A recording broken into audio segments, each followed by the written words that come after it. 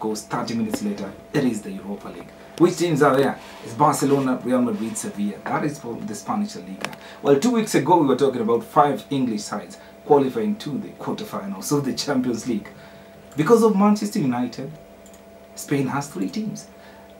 Because of Chelsea, Spain has three teams.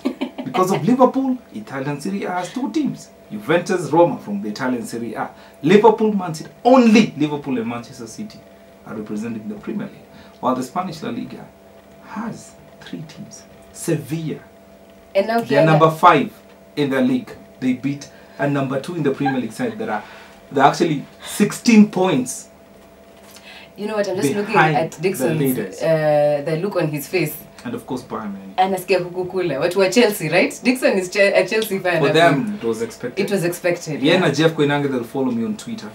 They'll follow me on Twitter.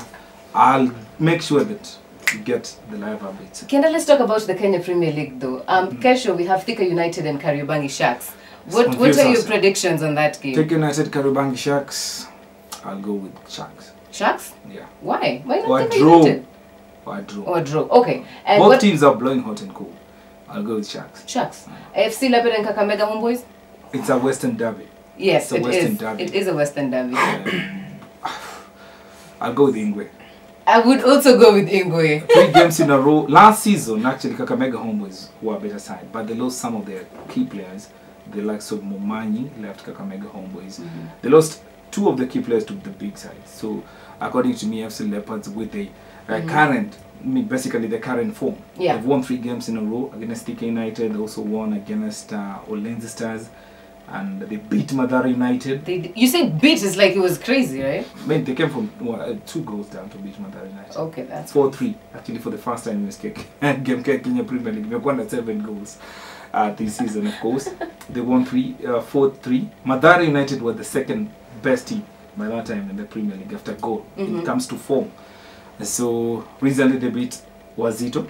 Wazito on Wednesday. And what about the Sofapaka so versus I'm going with the FC FC? Leopards. So FC Leopards. Sofapaka versus Tusk FC? I'll go with Sofapaka. I would also go with Sofapaka.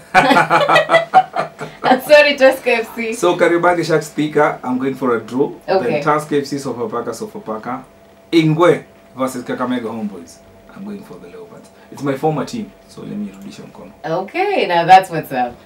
Raburu, We said he's sick because uh, he cannot cannot stand. There are two contradicting dinner. reports. Kuna ile inasema ni chicken pox, Uh-huh. kuna ingine inasema ni dahohea.